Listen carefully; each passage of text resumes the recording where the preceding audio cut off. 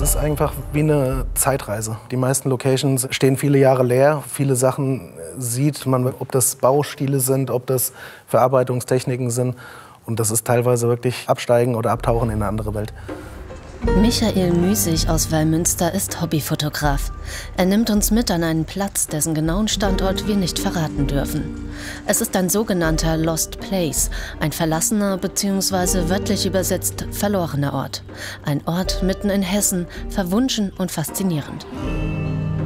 Für mich ehrlich gesagt diese Mischung aus der Natur, aus ähm, diesem Verfall, diesem geschichtlichen, wie die Natur sich alles auch zurückholt über die Zeit dass wirklich alles irgendwann vielleicht verschwunden ist. Genau das möchte er mit seinen Bildern festhalten. Sie zeigen Momente, in der Zeit und Raum scheinbar eingefroren sind. Sie wirken wie in einem dystopischen Film, wie eine vom Menschen verlassene Welt. Beispielsweise ähm, diese alten Metallfenstersprossenrahmen mit diesen gebrochenen Scheiben da drin, die halt auch für Fotos unheimlich was hermachen oder beziehungsweise wenn man durchfotografiert, schöne Motive geben. Die Gebäude auf dem Grundstück werden seit Jahrzehnten nicht mehr genutzt. Früher wurden hier mal Dachziegel gebrannt. Heute wachsen Bäume durch Dächer und Wände. Genau sowas fasziniert den 38-Jährigen. Ich finde es einfach wichtig, dass man sowas irgendwo so ein bisschen erhält. Sachen, die man jetzt fotografiert, äh, sind vielleicht in einem halben Jahr verschwunden. Ähm, einfach dadurch, dass sie abgerissen wurden oder auch natürlich durch den Verfall von alleine eingestürzt sind und ja, dann für immer verschwunden sind. Seine Faszination für Lost Places entwickelt sich früh. Anfangs macht Michael Müßig Handyfotos, kommt gerade in dunklen Gebäuden aber schnell an seine Grenzen. Inzwischen ist er professioneller unterwegs mit Spiegelreflexkamera und Licht.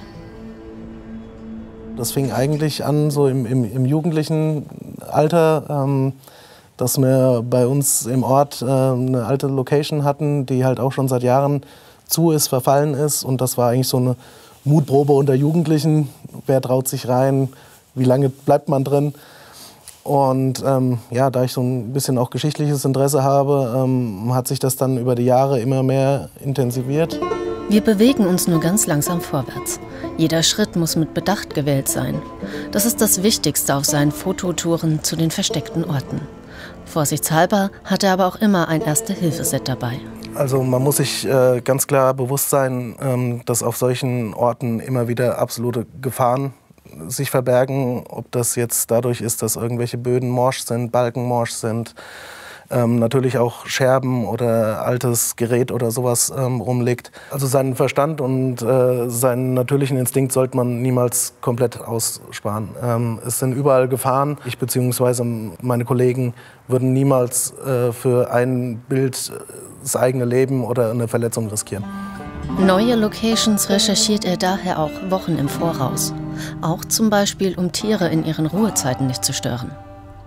Die Vorbereitung ist natürlich auch dahingehend wichtig, dass man sagt, okay, man ist gebunden zum Beispiel ähm, an gewisse Schonzeiten von Fledermäusen, ähm, die über den Winter äh, in Ruhe gelassen werden wollen. Und ähm, dann plant man natürlich solche Locations auch eher in der Sommerzeit. Eigentlich arbeitet der Hesse als Schreiner.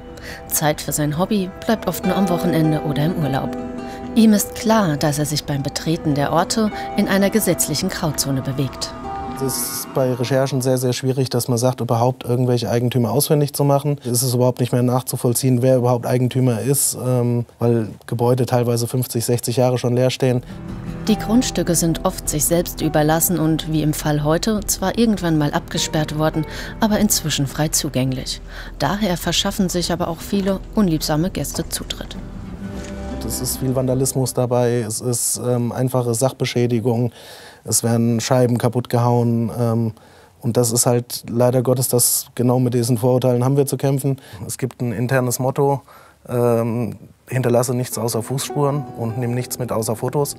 Leider halten sich nicht alle daran. Nahezu an jedem Lost Place findet er Überreste von Partys.